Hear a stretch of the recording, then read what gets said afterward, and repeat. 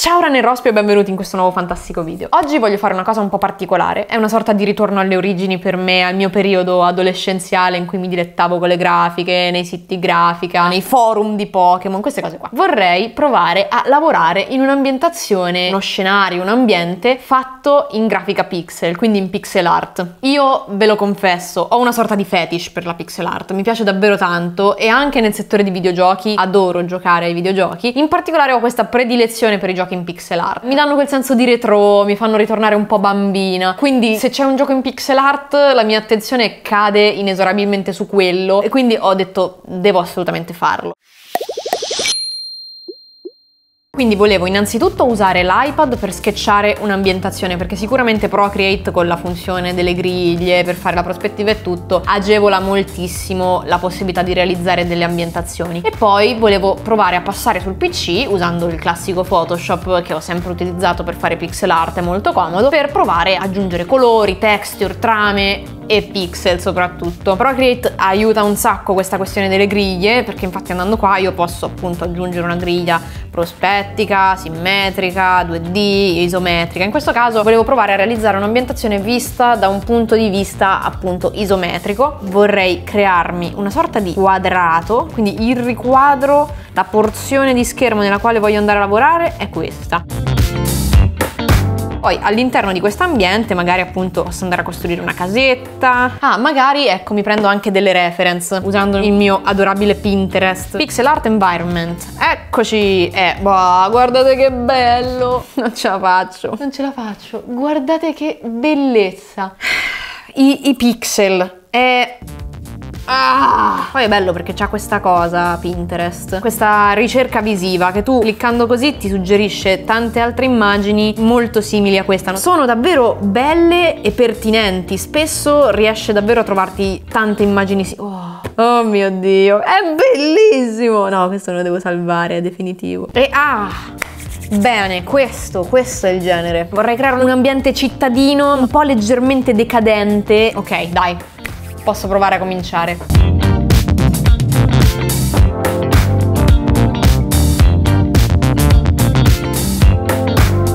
Ok, sono arrivata a questo punto. Sono piuttosto soddisfatta di quello che ho fatto finora, però volevo anche provare un'ambientazione che mischiasse un po' il cemento con il verde della natura selvaggia e ho fatto anche questo. È un po' più semplice in effetti, non mi dispiace il risultato, è carino. Sento di avere ancora dei problemi ad entrare più nel dettaglio, dovrei cercare di approfondire un po' di più. Comunque, uno di questi due sicuramente devo riuscire a portarlo a compimento in questo video. Magari un altro, adesso vediamo quanto tempo ci metto per riuscire a fare tutta la parte, insomma, in pixel art, ma ora ci provo, giusto? Carinissimo, mi piace tantissimo. Pixel art! Uh! Il mio software preferito, almeno l'unico che io conosca, per fare pixel art è Photoshop perché è un programma molto versatile, ti permette di fare un sacco di cose diverse, tra cui appunto pixel art. Adesso magari se riesco anche ad accendere la mobile. Ti puoi accendere, tesoro?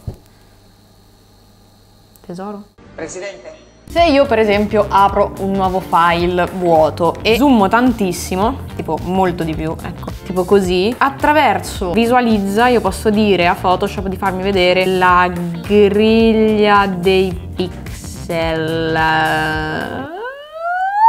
Dov'è? Perché non c'è? Eccola! Eccola qua, la griglia dei pixel. Finalmente l'abbiamo tirata fuori e quindi grazie a questa griglia noi possiamo, con lo strumento matita di Photoshop, possiamo disegnare pixel per pixel tutto quanto. Quindi il mio intento è prendere il disegno che avevo realizzato qua sull'iPad e realizzarlo. Eh, eh, ce la faccio, eh? Ce la faccio prenderlo, scusate, due secondi. Ecco, perfetto, ce la sto per fare. Prendere questa cosa fatta con l'iPad e farla qua, dentro, su Photoshop. Allora, prima di tutto devo adattare il bozzetto. Eccolo qua. Questo è il bozzetto, un po' più grande di come dovrebbe essere nell'immagine, ora ridimensionandolo, in questa immagine che in realtà sembra grande ma è piccolissima. Ecco, si perdono diciamo i dettagli ma non è così importante. Questa è come si vede l'immagine tutta un po' pixelata e adesso dovrò andare a renderla un po' meno pixelata diciamo. Partirei magari dalla base, da quest'area quadrata qua, quindi abbassando l'opacità di questo. E poi dovrebbe essere tutto molto facile perché tenendo premuto con la mano sinistra il tasto shift si possono tirare delle linee, il che è molto comodo perché appunto io con la matita posso fare delle linee dritte direttamente appunto qua sopra l'immagine.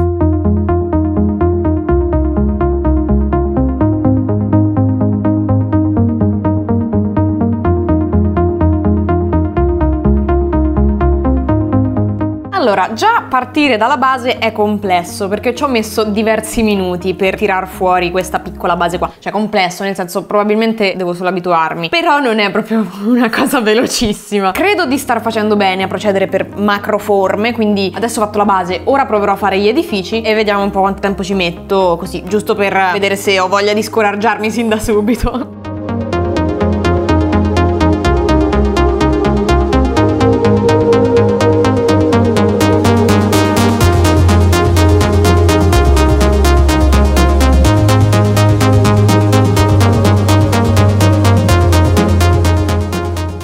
gli edifici esistono. Lo so che questa cosa è incredibile, ma esistono e ci ho messo del tempo anche in questo caso. Credo di aver fatto un errore alla base proprio di tutto, ovvero aver strutturato il tutto basandomi su una griglia isometrica fatta qua, ma non trasposta qua. Dentro Photoshop, almeno senza utilizzare plugin, non c'è modo di avere delle griglie prospettiche, isometriche, quindi di conseguenza ti trovi un po' a dover fare tutto, diciamo tra virgolette, ad occhio. Puoi usare i righelli, ma è molto molto più complesso che su Procreate per esempio. Non lo so, sono un po'... cioè credo di aver fatto dei micro errori prospettici che... non lo so.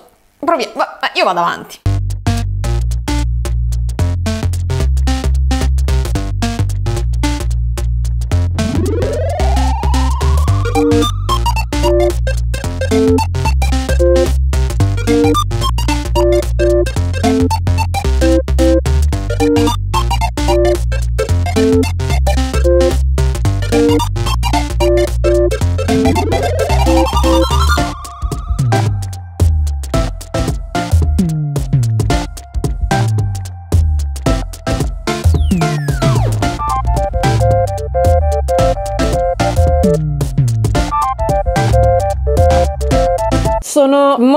In difficoltà. uh, credo di aver impiegato davvero molto più di quanto pensassi per realizzare solo questo blocco. Mi ha richiesto tipo più di un'ora. Però devo dire che già inizio a capire delle cose. Per esempio, per andare avanti sto analizzando alcune immagini, sempre prese da Pinterest, di ambientazioni metropolitane, città, borghi, vicoletti. E una cosa che ho notato è che in ogni edificio, se vuoi dare un quell'aspetto un po' decadente, eh, devi attaccare condizionatori ovunque. Questo è il trucco. In più, per differenziare un po' le varie finestre, non puoi fare tutte quante le persiane uguali. Io per esempio qui ho fatto delle persiane diverse, quindi qui chiusa, qui aperta, qui una aperta e una chiusa, per dare anche un aspetto meno regolare, meno logico, perché poi più una cosa è regolare meno è interessante, non è una legge, però insomma più o meno, in questo caso almeno sì, perché poi se il tuo sguardo cade sempre sullo stesso tipo di finestra. Sono un po' fusa? Sì. Voglio andare avanti? Sì.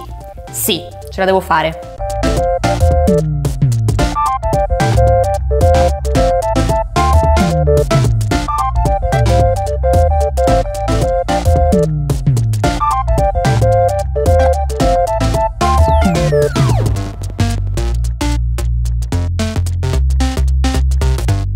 Ok. Ok, è tutto pomeriggio che sono qui e non credo di poter rimanere oltre. Tante cose stanno venendo comprese dalla sottoscritta e il risultato mi sta davvero piacendo. Ovviamente siamo ancora molto indietro, siamo qui. Sono preoccupata più per una questione di tempistiche, ma più che altro per me perché mi ero prefissata questa cosa di riuscire a creare un video dalla mattina alla sera e completarlo, cosa impossibile a quanto pare, ma non importa. Mi sento molto motivata a continuare, quindi porterò tutto a casa e probabilmente completerò la cosa a casa, probabilmente non in un solo giorno, ma quello che conta è portarla a termine. Quindi ci vediamo in diretta da casa, direi.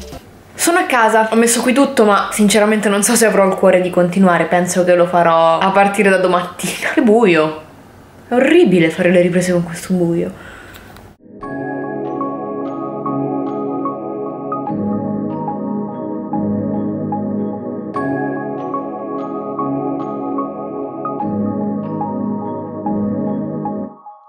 Come previsto tutti i nodi tornano al pettine proprio perché appunto i problemi prospettici di cui parlavo all'inizio sono dovuti al fatto che la griglia di pixel non fosse proprio regolare.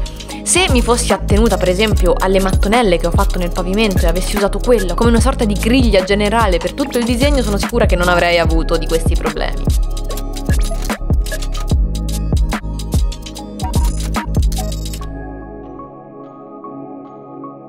Comunque andando avanti mi sono divertita con le regolazioni, con i colori e soprattutto con questa bellissima ripresa generale che ho fatto con Photoshop mentre sul mio schermo stavo andando più nel dettaglio, nell'altro schermo tenevo un po' tutto quanto bello largo e complessivo.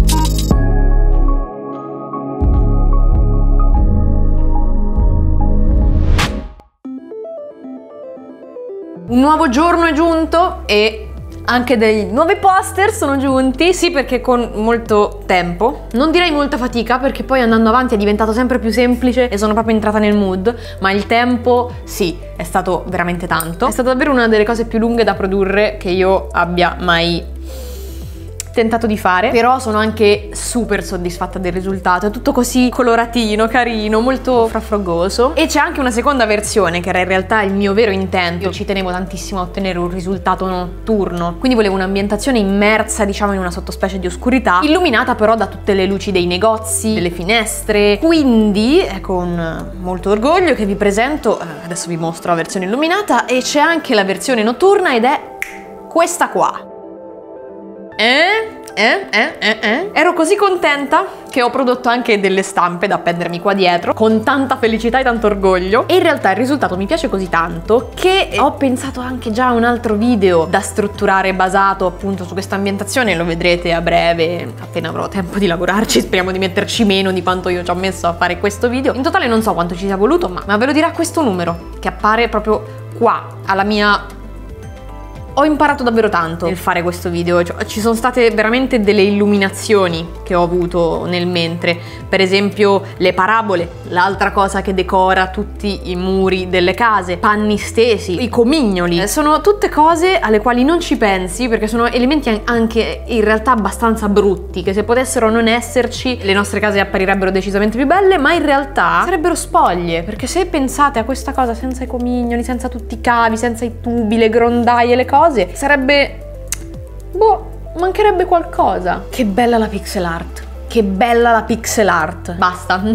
Quindi mi raccomando, lasciate un commentino anche soltanto per darmi un qualcosa che mi faccia dire sì, ho speso bene queste ore. Grazie mille per aver visto questo video. Spero tanto di farvi vedere presto cosa altro ho in mente di fare con questa ambientazione. Vi dico solo una cosa, animazione. E vabbè, praticamente ho detto già tutto, non importa. Ci vediamo al prossimo video. Ciao ciao!